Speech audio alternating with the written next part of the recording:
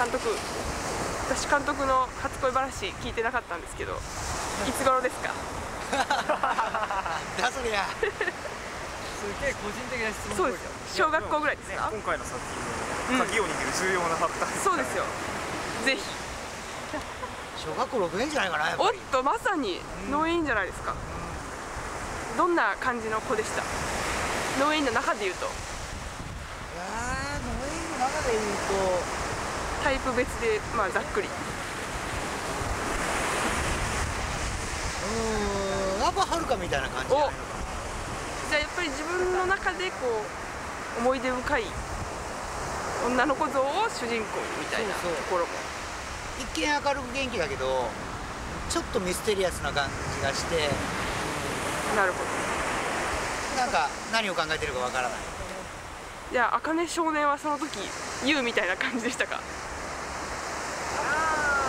まではもっとバカだったから。うんぐらいですかうんそうそうそう。一日中野球して遊んでたような気がする。まさに勇みです。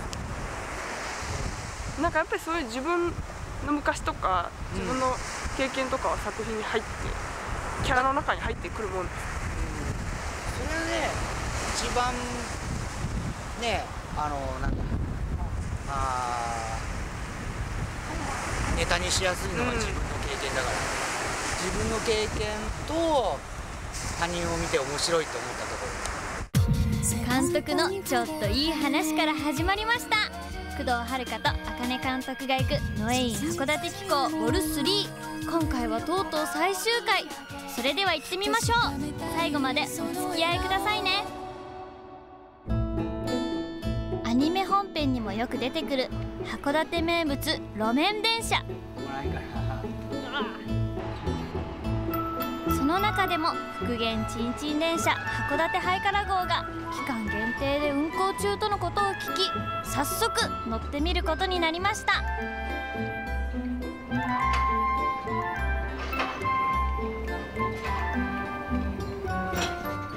このハイカラ号大正7年に初めて運行され昭和11年まで客車として運行していました。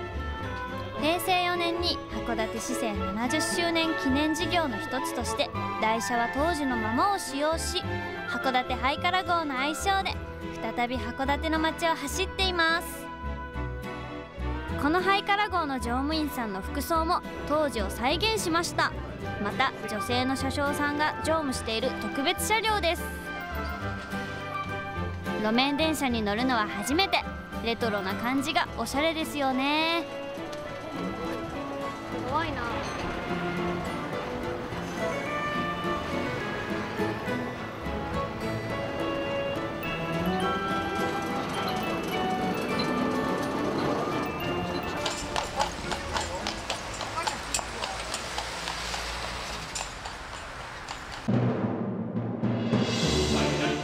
函館湾の入り口を見下ろす高台。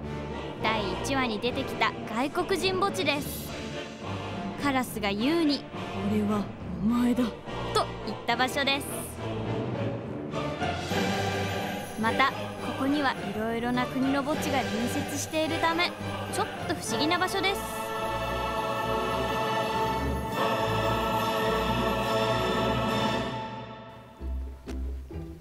読めないのもあるんだよな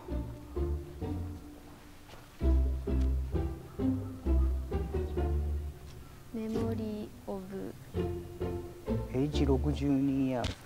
62歳じゃなかったちもさ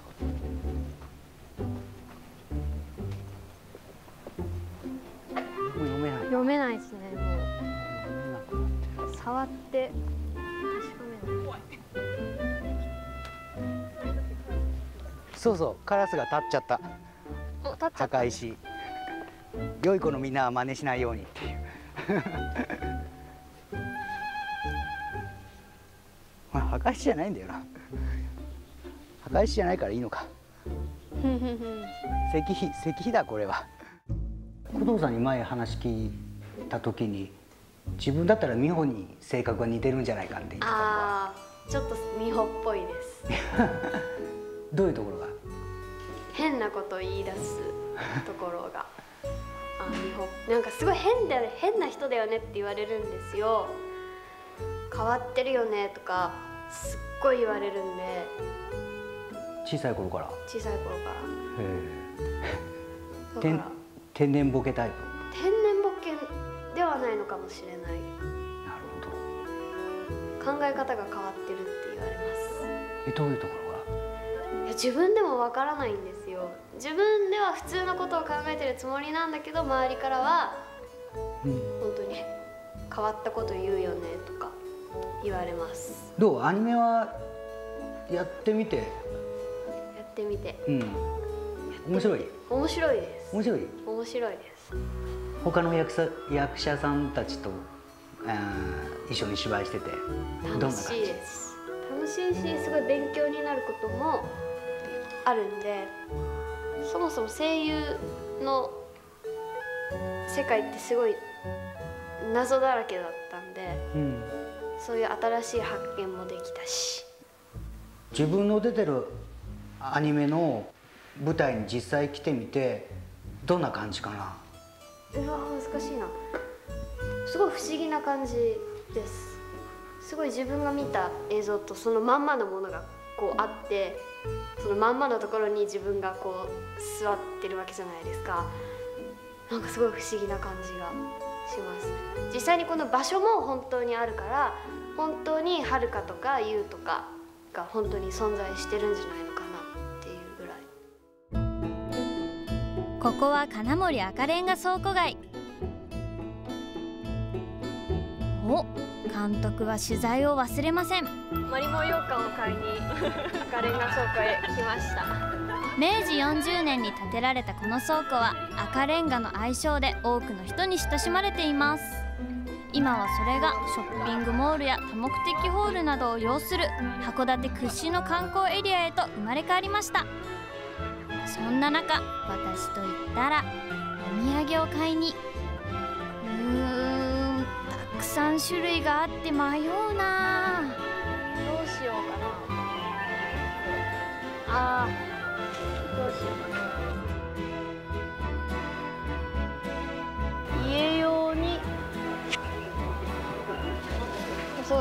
達用にこっちで家が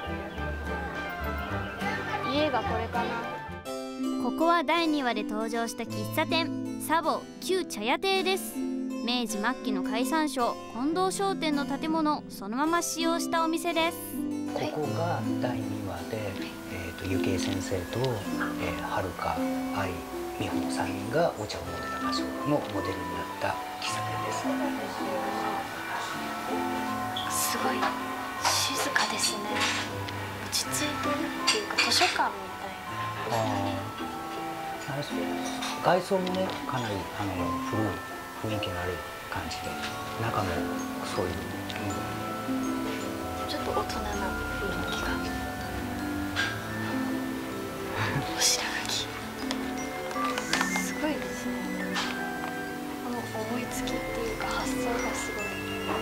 可愛らしい感じ。あ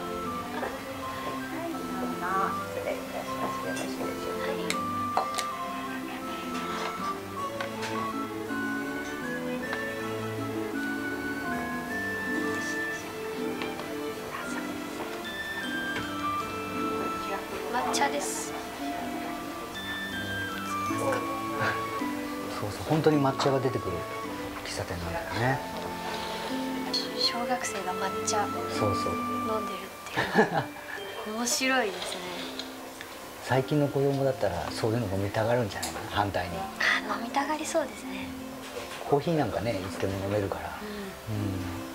外からうん、うん、ね見た様子と中から見るとなんか違いますね。すごくこうすりガラスと色ガラスの感じが。すごい優しい感じでしょ。う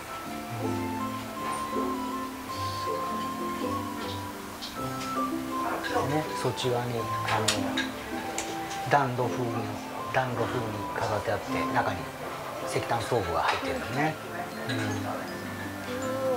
ん、これが可愛らしいなと思ってはるかの家にものリビングにもそれを置いてみた完監督はここ来た時何か注文したんですか？抹茶抹茶？抹茶をうん頼んだような気がするな。抹茶セット。抹茶セット？抹茶セット。それでね、えっと、その場で、ね、立ててくれるからあ面白いな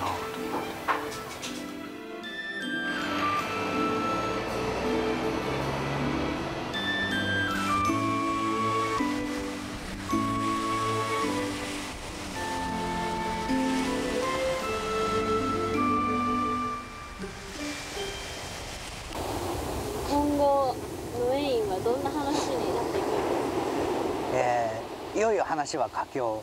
佳境だ佳境だよ。はるかちゃんはいよいよ大変な大変なことになってきてしまいます。そうですよね。で函館ももっともっとこれから大変なことになってくるという。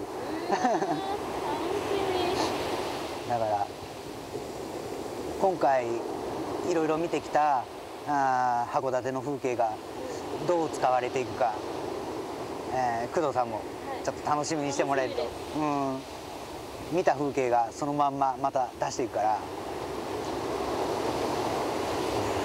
じゃあ工藤さんははるかについて。みはるかについて。うんうん。どう思います？はるかはです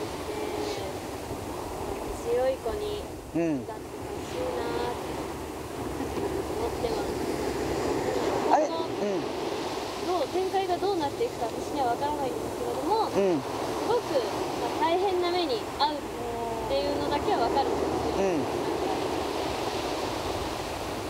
大変なことになってるじゃないですか。うん。でもどんなやどんななんだろうそういう嫌なこととか辛いことにも負けずにうん。強い子になってほしいです。なるほど。じゃああの最後まで工藤さんも あのアフレコで、アフレコで。はい、強く たくましく 芝居をはい。していただけるように。でこの函館の取材が、えー今後の演技にプラスになるといいなと願いつつよろしくお願いします。よろし。くお願いします、はい。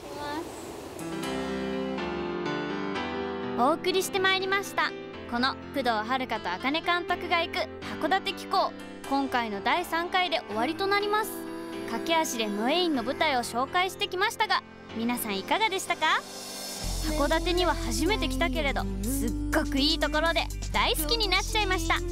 皆さんもぜひ函館に行ってみてはいかがでしょうか？それではまたどこかでお会いしましょう。